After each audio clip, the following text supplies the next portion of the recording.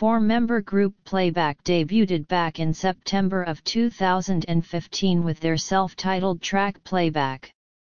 Now many people know about this group from Coridel Entertainment but these girls are talented.